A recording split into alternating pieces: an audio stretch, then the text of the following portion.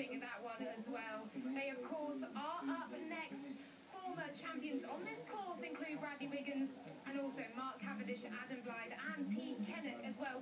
Those three all in action here today. And it's going to be intriguing to see how this works out. You have the World Tour contenders who, of course, want to take that jersey out onto the roads of the Tour de France with them. But the domestic bunch want to prove they are the best of British and indeed prove they know these